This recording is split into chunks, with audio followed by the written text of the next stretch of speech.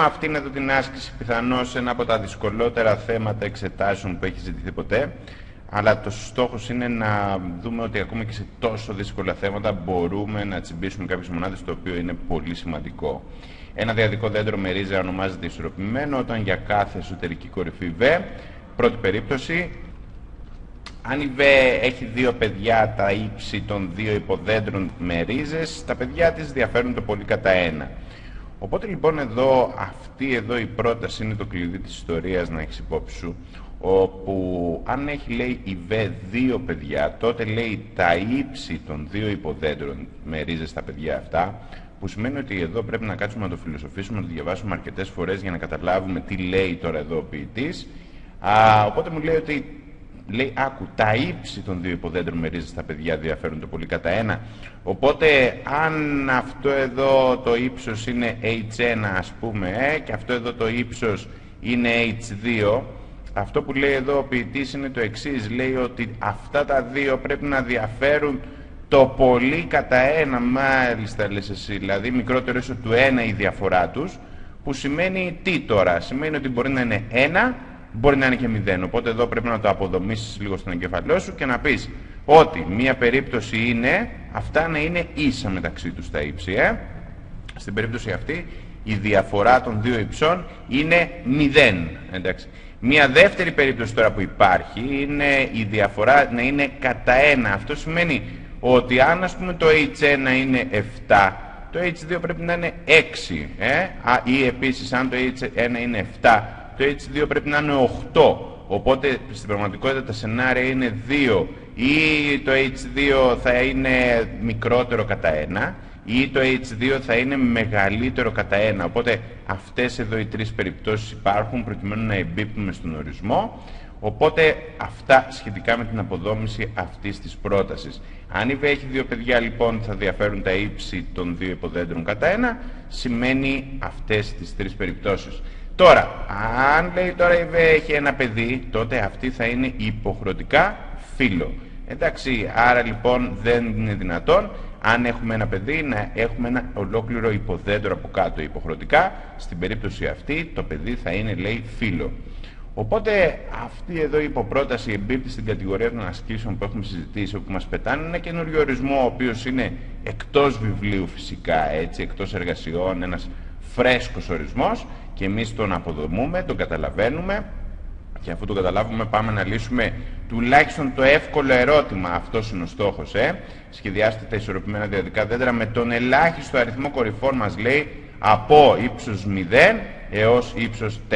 Και επιβεβαιώστε ότι ο αριθμός των κορυφών των ισορροπημένων διαδικών δέντρων που κατασκευάσετε επαληθεύει την ισότητα νη του h λέει, όπου νη του h διαβάζουμε από πάνω είναι ο αριθμός των κορυφών. Οι κορυφές θα είναι λοιπόν f του h συν 3 μείον 1 όπου f του h συν 3 είναι ο h συν 3 όρος της ακολουθίας Φιμπονάτσι. Και μας λέει βέβαια από κάτω κάτω την ακολουθία Φιμπονάτσι ποια είναι, έτσι μας την ορίζει προκειμένου αυτό να το αξιοποιήσουμε. Εδώ πέρα λοιπόν πρέπει να βάλουμε κάτω τη σκέψη και να χρησιμοποιήσουμε τον ορισμό και απλά να δώσουμε τα σχήματα. Τα οποία σχήματα αυτά που θα είναι τα δέντρα με h ίσον 0 έως h ίσον 4 κορυφές θα μας δώσουν μονάδες και αυτό είναι πολύ σημαντικό. Πάμε τώρα να δούμε λίγο την ακολουθία Φιμπονάτσι την οποία μας δίνει να την αποδομήσουμε και αυτή. Ο Φιμπονάτσι μας λέει έχει πρώτους όρους F1 ίσον 1 και επίσης F2 ίσον 1 και οι υπόλοιποι αριθμοί Φιμπονάτσι λέει ο K όρος λέει ο επόμενος όρος δίνεται από τη σχέση FK ίσον FK 1 συν FK 2 οπότε είναι το άθροισμα των δύο προηγουμένων. Δηλαδή για να υπολογίσω το F του 3 θα πάω και θα βάλω κάτω στην αναδρομική σχέση εδώ πέρα όπως μου τη λέει ε, όπου κάπα το 3 συνεπώς θα έχω f του 3 ίσον f του 3 μείον 1 δηλαδή f του 2 ε, f του 2 θα είναι. Συν f του κάπα μείον 2 δηλαδή f του 1 έκανα αντικατάσταση θέτοντας όπου κάπα το 3 και μου βγήκε αυτό. Ναι αλλά το f του 1 και το f του 2 το ξέρω άρα το f του 3 θα είναι ίσο με το 2 γιατί είναι 1 και 1 2 το f του 4 τώρα με τη σειρά του έτσι πόσο θα μας κάνει αυτό. Το f του 4 θα είναι σύμφωνα με τον αναδρομικό ορισμό που κάπου βάζω το 4 θα είναι f του 3 και f του 2. Άρα το άθροισμα του τρίτου και του δεύτερου Φιμπονάτσι 2 και 1 3. Οπότε σταματάω λίγο εδώ γιατί κατάλαβα τώρα πώς δουλεύει και ο Φιμπονάτσι ας πούμε και μου λέει αυτός ότι άκου να δεις κάτι, α, οι κορυφές των δέντρων θα επαληθεύουν την ιδιότητα του Φιμπονάτσι. Πάμε τώρα ξανά πίσω στο ερώτημα, αφού είδαμε και το Φιμπονάτσι και τον θυμηθήκαμε. Σχεδιάστε τα ισορροπημένα δυαδικά δέντρα με τον ελάχιστο αριθμό κορυφών.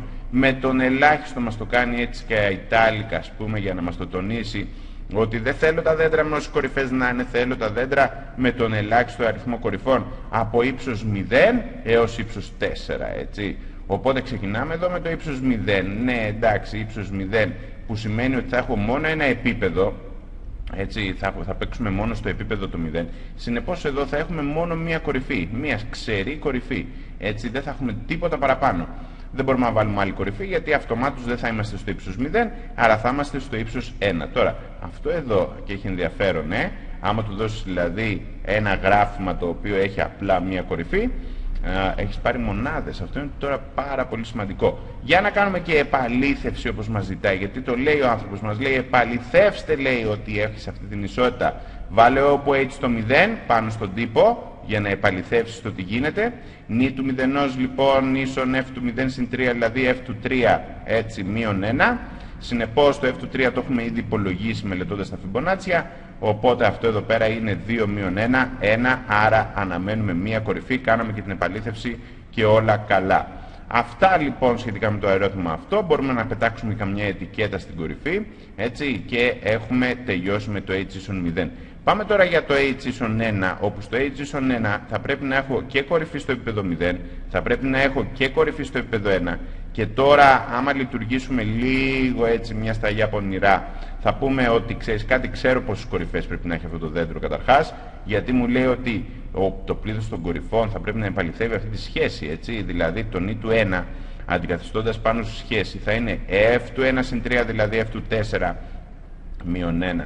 Το f του 4 το έχω υπολογίσει όμως ήδη, άρα είναι 3 μείον 1, άρα αναμένω δύο κορυφές να έχει αυτό το δέντρο το οποίο είναι και λογικό βέβαια έτσι, γιατί θα πετάξουμε μια κορυφή οπωσδήποτε η οποία θα είναι η ρίζα.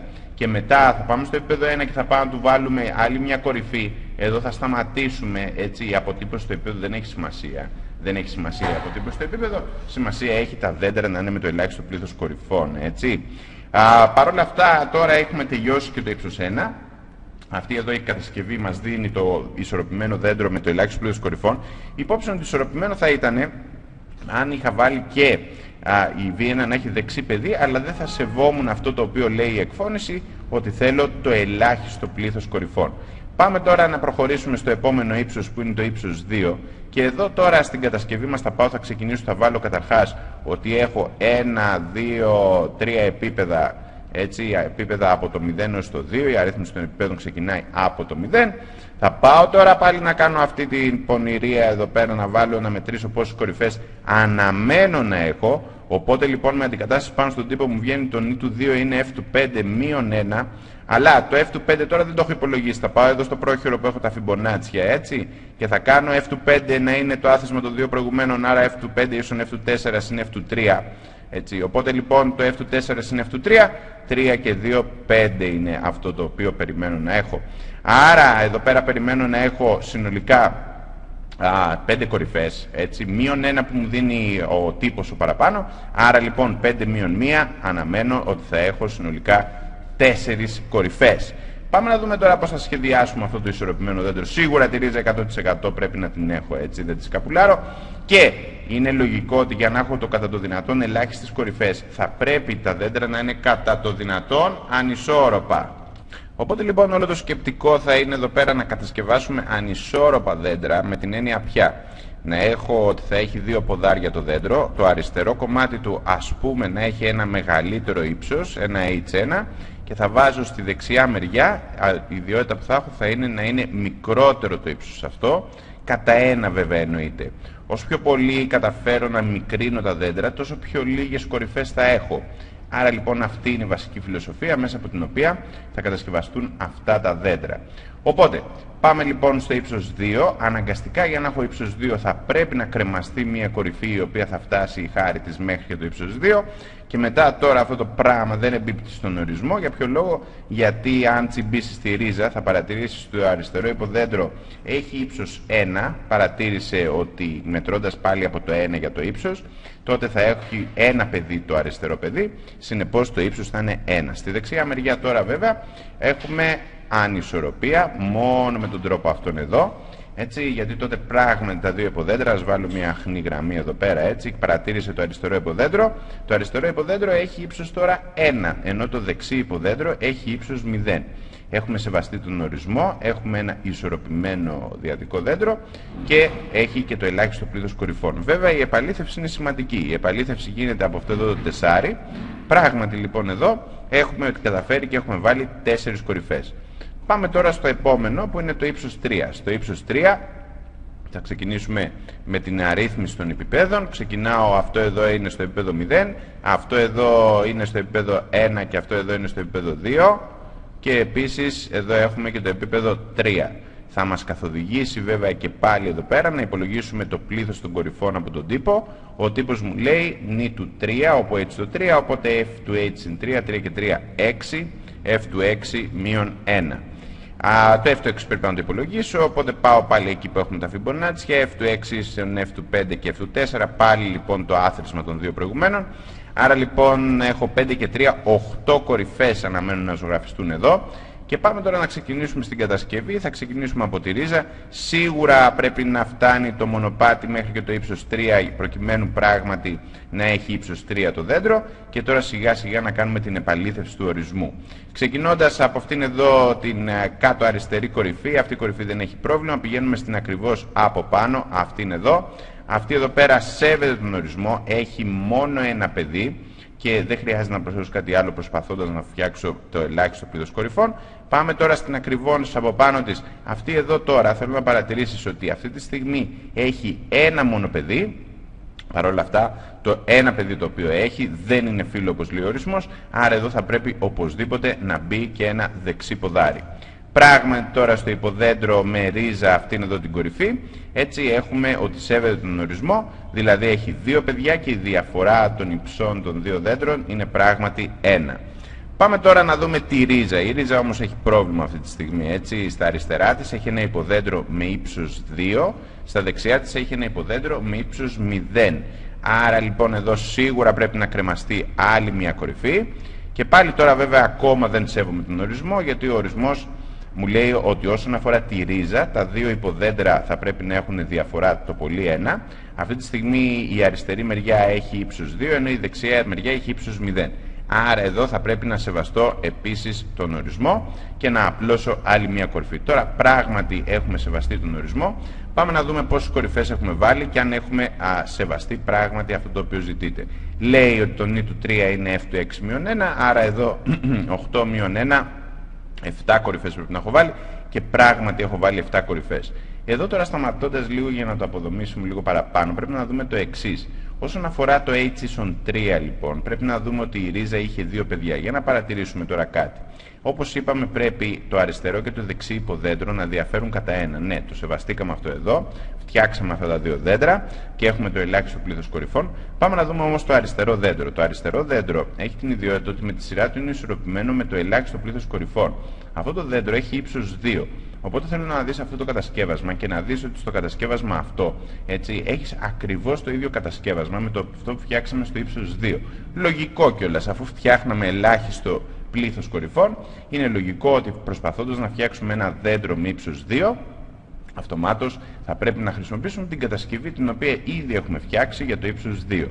Ομοίως και στο δεξί κομμάτι έτσι, στο οποίο θέλαμε ένα δέντρο με ύψος 1, δες ότι το κατασκεύασμα το οποίο τελικά φτιάξαμε είναι το κατασκεύασμα το οποίο είχαμε στο ύψος 1. Αυτά λοιπόν για το ύψος 3. Πάμε να δώσουμε και το τελευταίο, την τελευταία κατασκευή που είναι για ύψος 4. Εδώ πέρα λοιπόν ξεκινάω πάλι με τα επίπεδα. Κοπανάω εδώ το επίπεδο 0, εδώ το επίπεδο 1, το επίπεδο 2 μέχρι και το επίπεδο 4. Και αυτό που θα έχει ένα ενδιαφέρον ε, στην κατασκευή του επίπεδου 4 είναι ότι και πάλι τώρα θα προσπαθήσουμε να αξιοποιήσουμε την πληροφορία που ήδη έχουμε εξάγει από τα προηγούμενα επίπεδα. Έτσι. Οπότε ξεκινάμε με, το, με την κατασκευή στο επίπεδο 0, εδώ θα πετάξουμε μία κορυφή Και τώρα όσον αφορά το αριστερό υποδέντρο, εδώ θέλω να φτιάξω ένα δέντρο πλέον με ρίζα αυτή την κορυφή, το οποίο θα έχει ένα ύψος ίσο με το 3. Ναι, αλλά για ύψος ίσο με 3 έχουμε ήδη δώσει μια κατασκευή η οποία έχει το ελάχιστο πλήθος κορυφών, έτσι. Ενώ στη δεξιά μεριά θα πρέπει να φτιάξουμε ένα ελάχιστο πλήθος κορυφών με ύψος 2 συνολικά και έχουμε ήδη φτιάξει μια κατασκευή που δίνει τέτοιο ελάχιστο πλήθος. Άρα, αξιοποιώντας την πληροφορία αυτή, εδώ θα πάω να κατασκευάσω αντιγραφή κανονικά, έτσι, το δέντρο το οποίο είχαμε φτιάξει για ύψος 3 νωρίτερα. Συνεπώς το δέντρο αυτό εδώ είχε αυτήν εδώ τη δομή. Να λοιπόν η αριστερή μεριά παρατήρησε ότι αυτό εδώ το δέντρο, αυτή εδώ η, αυτό το κομμάτι του δέντρου είναι ακριβώς αυτό που φτιάξαμε για το ύψος 3 και πάμε τώρα και στη δεξιά μεριά που θέλω το ελάχιστο πλήθος για ύψος 2 αυτή τη φορά και θα πάω και θα αντιγράψω αυτό το οποίο έχουμε φτιάξει για το ύψος 2. Συνεπώς, αυτό είναι το ελάχιστο ισορροπημένο δέντρο με ύψος 4. Πάμε να κάνουμε και την επαλήθευση ότι πράγματι δουλεύει σωστά. Εδώ θέλω το νη του 4 να δούμε ποιο είναι, πόσες κορυφές έχει αυτό. Μου έχει δώσει ένα τύπο, f του 7 1, θα χρειαστώ τον 7ο Fibonacci. Πάω εδώ που υπολογίζω τα φιμπονάτσια και έχω ότι είναι το f του 6 συν f του 5. Άρα λοιπόν 5 και 8, 13 κορυφές πρέπει να έχει αυτό το πράγμα. Έτσι, 13 λοιπόν μείον 1 μου κάνει 12. 12 κορυφές πρέπει να έχει αυτό το πράγμα. Οπότε λοιπόν πράγματι να τις μετρήσουμε είναι 1, 2, 3, 4, 5, 6, 7, 8, 9, 10, 11, 12. Πράγματι επαληθεύει τη δομή. Τώρα αυτό που είναι σημαντικό είναι το εξής ότι σε μια τόσο δύσκολη άσκηση σαν αυτήν εδώ έτσι που ο ορισμός είναι περίεργος, έχει τα φιμπονάτσια μέσα κτλ. Είναι ερώτημα να κατασκευάσεις αυτά εδώ τα δέντρα. Οπότε λοιπόν εδώ πέρα κάθε κατασκευή η οποία δίνεις παίρνεις μονάδες. Έτσι. Αυτό είναι απόλυτα σημαντικός όταν μας δίνει ένα νέο ορισμό, τον οποίο δεν τον έχουμε μελετήσει, ότι αδίστακτα πάμε, μελετάμε τον ορισμό, ιδίως αν έχει κατασκευαστικά ερωτήματα, δίνουμε τα σχήματα και έτσι λοιπόν τελειώσαμε. Πάμε τώρα να δώσουμε και μία νήξη για την επαγωγή, όπου δείξαμε με επαγωγή στο ύψος h ότι η παραπάνω ισότητα ισχύει για τον ελάχιστο αριθμό κορυφών ή h κάθε ισορροπημένου διαδικού δέντρου. Αυτή η επαγωγή είναι ιδιαίτερα δύσκολη, μάλλον η δυσκολότερη επαγωγή που έχει ζητηθεί ποτέ στο μάθημα. Ε; Οπότε πάμε να δούμε λίγο πώς θα το προσεγγίσουμε. Όπως έχουμε πει στην επαγωγή, η πρώτη μας δουλειά είναι να σκεφτούμε την πρόταση. Εδώ μου διατυπώνεται ρητά βέβαια, έτσι, με επαγωγή στο ύψος h ότι η ισότητα, ότι αυτός ο τύπος δηλαδή, ισχύει για τον ελάχιστο αριθμό κορυφών η h κάθε ισορροπημένου διαδικού δέντρου ύψους h, οπότε στην ουσία αντικαθιστώντας την παραπάνω ισότητα πάνω σε αυτήν εδώ την πρόταση, έχουμε και αυτό που λέγαμε το κουτί της επαγωγής, όπου θα το χρησιμοποιήσουμε για να κάνουμε τα διαδοχικά βήματα. Βάση επαγωγής λοιπόν δείχνουμε ότι ισχύει για το μικρότερο φυσικό και έχουμε πει ότι τη βάση επαγωγής θα μπορέσουμε να την προσεγγίσουμε σε εξετάσεις σίγουρα όσο δύσκολη και αν είναι η άσκηση. Δείχνουμε λοιπόν ότι ισχύει για h ίσον 0. Προσοχή ότι η επαγωγή δεν γίνεται τώρα στις κορυφές αλλά στο ύψος του δέντρου. Δηλαδή ότι αναφέρω τώρα στο κάνω αντικατάσταση στον τύπο ε, και βάζω όπου h το 0, οπότε νη του 0 ίσον f του 3 μείον 1.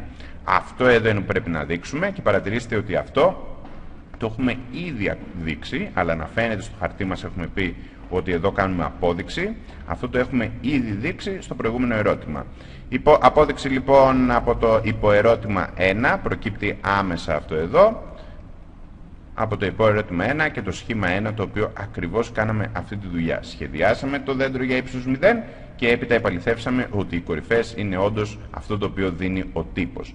Πάμε τώρα να σκιαγραφίσουμε την επαγωγική υπόθεση και το επαγωγικό βήμα που είναι αρκετά δύσκολα. Επαγωγική υπόθεση τώρα, προσοχή, υποθέτω ότι ισχύει για h ίσον k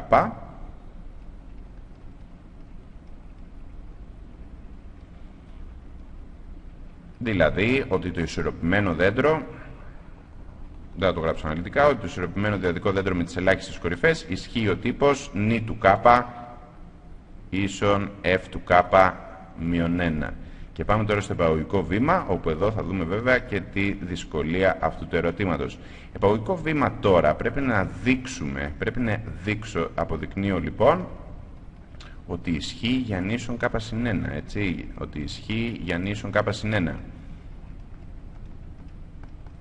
Και για νήσον κάπα συν 1, τι πρέπει να δείξω, ότι το ισορροπημένο δέντρο με το ελάχιστο πλήθος κορυφών επαληθεύει αυτήν εδώ τη σχέση. Νη του κάπα συν 1 ίσον F. του, κάνουμε αντικατάσταση στον τύπο, f του k συν 3 συν 1 μείον 1. Για να μην το μπερδέψουμε εδώ, k συν 1 κιόλας, γιατί κάναμε αντικατάσταση στον τύπο, έτσι, k συν 1 συν 3. Οπότε λοιπόν αυτό το οποίο πρέπει να δείξουμε εδώ πέρα, να το γράψω λίγο καθαρά, το νι του k συν 1 είναι f του k συν 4 μείον 1. Αυτό είναι λοιπόν το αποδεικτέο το οποίο πρέπει να αποδείξουμε και επίσης με αντικατάσταση πάνω στην επαγωγική υπόθεση γιατί δεν έχει γραφτεί σωστά εδώ είναι f του k συν 3. Κάτσε να το καθαρογράψω. Νι του k ίσον f του k συν 3 μείον 1. Αυτά λοιπόν έχουμε στην επαγωγική υπόθεση και πάμε τώρα στο επαγωγικό βήμα. Στην απόδειξη τώρα του επαγωγικού βήματος πρέπει να παίξουμε καταρχάς στο ύψος k συν 1. Άρα θα είμαστε από το επίπεδο 0, 1 κτλ. κτλ μέχρι και το ύψος k συν 1. Και εδώ αυτό που έχουμε πει είναι το εξής. Πώς θα καταφέρουμε να εμφανίσουμε μέσα στο επαγωγικό βήμα την επαγωγική υπόθεση. Από τη συζήτηση που κάναμε προηγουμένως, είδαμε το εξής: ότι το βέλτιστο ισορροπημένο διαδικό δέντρο θα έχει την εξής ιδιότητα. Ότι θα πρέπει τα δύο υποδέντρα με ρίζες στα παιδιά να διαφέρουν στο ύψος κατά ένα. Οπότε λοιπόν στο αριστερό κομμάτι θα έχω ένα κομμάτι δέντρου το οποίο θα φτάνει και μέχρι το ύψος k συν 1 και στο δεξί κομμάτι του δέντρου θα έχω ένα κομμάτι του δέντρου το οποίο θα φτάνει μέχρι το ύψος k. Τώρα ποιο είναι το πρόβλημα; Το πρόβλημα είναι το εξής. Ότι αν αυτό το συνολικό δέντρο το ονομάσω έτσι, το βαφτίσω ότι είναι το ταφ k συν 1, τότε αυτό εδώ από τι θα απαρτίζεται; Θα απαρτίζεται από ένα βέλτιστο δέντρο με ύψος ταφ k, έτσι, γιατί χάνουμε ένα, τη ρίζα, και με ένα δέντρο το οποίο θα είναι το ταφ k 1. Πρόσεξε τώρα να δεις κάτι ε, θέλω το βέλτιστο ισορροπημένο δέντρο. Άρα θα θέλω το κατασκεύασμα για το ταφ και θα θέλω και το κατασκεύασμα για το ταφ k 1. Πόσες κορυφές θα έχει τελικά το ταφ k συν 1. Οι κορυφές του ταφ k συν 1 λοιπόν θα είναι, θα είναι οι εξής. Θα είναι μία η οποία θα είναι η ρίζα. Θα έχω ακόμα τις κορυφές του δέντρου ταφ k, έτσι, και θα έχω και τις κορυφές του δέντρου ταφ k 1. Πρόσεξε τώρα να δεις κάτι. Κοίτα τώρα να δεις τι έγινε εδώ πέρα. Έτσι. Ξεκινήσαμε να κάνουμε την επαγωγή μας, κάναμε ένα συλλογισμό, ο οποίος δεν ήταν και απλός, και φτάσαμε στο σημείο αυτό εδώ. Στο σημείο αυτό εδώ έχω ότι θέλω τη βέλτιστη λύση όχι μόνο για το ΚΑΠΑ, που είναι το, η επαγωγική υπόθεση, άρα μπορώ να το χρησιμοποιήσω αυτομάτως, αλλά θέλω και για το K-1. Εδώ λοιπόν είναι το σημείο που στην επαγωγή κάνουμε κολοτούμπα και λέμε Α, δεν θα κάνουμε υπόθεση μόνο για το ΚΑΠΑ, αλλά θα κάνουμε, θέλουμε και την υπόθεση και για τον προηγούμενο όρο, για το K-1. Στην περίπτωση αυτή λοιπόν κάνουμε αλλαγή της επαγωγικής υπόθεσης και αντί να υποθέσω ότι ισχύει για H ίσον K, υποθέτω ότι ισχύει για όλα τα H μικρότερους του K, δηλαδή στην ουσία αυτό που κάνω είναι ότι κάνω ισχυρή μαθηματική επαγωγή. Δεν κάνω την απλή επαγωγή που υποθέτει μόνο για το K, αλλά κάνω επαγωγική υπόθεση η οποία ισχύει για όλες τις τιμές από το 0 ως το k. Πώς το κατάλαβα αυτό, το κατάλαβα όταν πήγα να σκεφτώ την απόδειξη για το επαγωγικό βήμα και είδα εκεί πέρα ότι δεν χρειάζομαι μόνο τον όρο ταυκάπα, αλλά χρειάζομαι και τον όρο ταυκάπα 1. Στην περίπτωση αυτή λοιπόν κάνω τούμπα την επαγωγική υπόθεση, υποθέτω ότι ισχύει για όλες τις τιμές από, από το 0 έως το k και τώρα πλέον μπορώ να χρησιμοποιήσω την επαγωγική υπόθεση όχι μόνο για την τιμή του k αλλά και για τη τιμή προηγούμενη. Αυτό σημαίνει τώρα το εξής ότι όσον αφορά τώρα τις κορυφές οι οποίες είναι για το ύψος k συν 1 που αυτό σύμφωνα με το συμβολισμό που έχουμε υιοθετήσει είναι το νι του k συν 1. Αυτό λοιπόν θα είναι ίσο με αυτήν εδώ τη δομή. Θα είναι 1 συν τα k που είναι οι κορυφές του αριστερού υποδέντρου συν τα k 1 που είναι οι κορυφές του δεξιού υποδέντρου. Ένα λοιπόν σημειώνω συν από τη μία μεριά αντικατάσταση στον τύπο για τις κορυφές του ταυκάπα που είναι σύμφωνα με, το, με την επαγωγική υπόθεση f του k συν 3 μείον 1 έτσι. Συν όμω ε, το ταφ k-1 που είναι να κάνω πάλι αντικατάσταση πάνω στον κεντρικό τύπο θέτοντας όπου h το k-1. Άρα λοιπόν αυτό που θα προκύψει θα είναι κάνοντας αντικατάσταση πάνω το f του k συν 2 πάλι μείον 1. Πρόσεξε τώρα να δεις κάτι. Εδώ ακόμα δεν έχουμε τελειώσει δυστυχώς. Εδώ έχω το f του k συν 3, εδώ έχω το f του k συν 2. Αυτό εδώ είναι άθροισμα δύο αριθμών Fibonacci σύμφωνα με τον ορισμό του Fibonacci, όταν προσθέτεις δύο αριθμούς Fibonacci, παίρνεις τον επόμενο. Αν προσθέσω τον k συν 2 και τον k συν 3, θα πάρω τον επόμενο, ο οποίος είναι ο f του k συν 4. Άρα λοιπόν το f του k συν 2 συν f του k συν 3 από τον ορισμό προκύπτει ότι είναι f του k συν 4, θέτοντας όπου k το k συν το k α, θέτοντας όπου k το k συν 4 και επίσης φεύγουν ένα, ένας άσος με το μείον 1 και μένει ακριβώς αυτή εδώ η δομή. Ξαναλέω, η απόδειξη έχει ολοκληρωθεί έτσι, ο προσαπόδειξη τύπος έχει πλέον εξαχθεί. Α, ξαναλέω ότι βέβαια εδώ πέρα αυτή η άσκηση έχει πολλά σημεία τα οποία έχουν ενδιαφέρον. Πρώτο σημείο είναι ότι το πρώτο ερώτημα είναι κατασκευαστικό. Στο κατασκευαστικό ερώτημα δίνουμε τα γραφήματα τα οποία ζητούνται και παίρνουν μονάδες. Οπότε και σε αυτό το πολύ δύσκολο θέμα κάποιος μπορούσε να τσιμπήσει ένα μισομόναδο και αυτό είναι σημαντικό. Όσον αφορά βέβαια κάποιον πιο προχωρημένο, θέλω να δεις ότι η υπαγωγή έχει την ιδιαιτερότητα ότι χρειάστηκε στην ε, επαγωγική υπόθεση να την ισχυροποιήσουμε και αυτό το κάναμε αντικαθιστώντας την επαγωγική υπόθεση να μην ισχύει μόνο για HSON K, αλλά και για τις προηγούμενες τιμές.